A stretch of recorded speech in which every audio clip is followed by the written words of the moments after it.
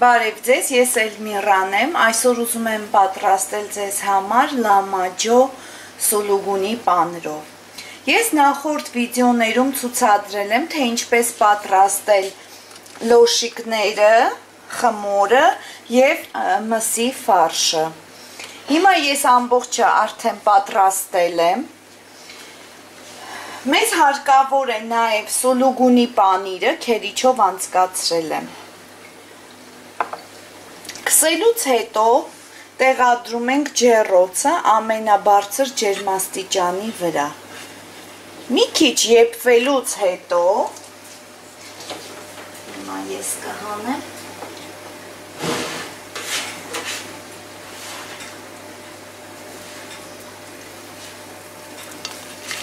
Եփվելուց հետո միսը կարող եք ավելի շուտ հանել տարածում ենք սուլուգունի պանիրը, իրար հետ միաժամանակ չլցնեք պանիրը, թող միսը մի քիչ եփվի, նոր ավելացրեք սուլուգունի պանիրը։ Եթե ցանկանում եք, կարող եք ավելի շատ անել պանիրը, եթե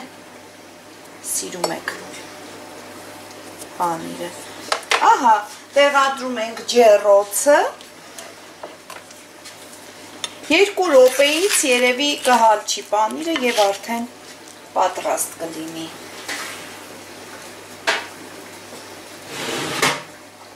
Հենց տեսնում եք, հալվել է, կարող եք հանել։ Թողնեք շատ կարմրի, ահա։ Արդեն պատրաստ էին պանրով լամաջոն։ Փորձեք նաև այս տարբերակով ինքը շատ ավելի համեղ է եւ կշտացնող։ Անպայման փորձեք։ Կհանդիպենք մյուս վիդեոների ընթացքում։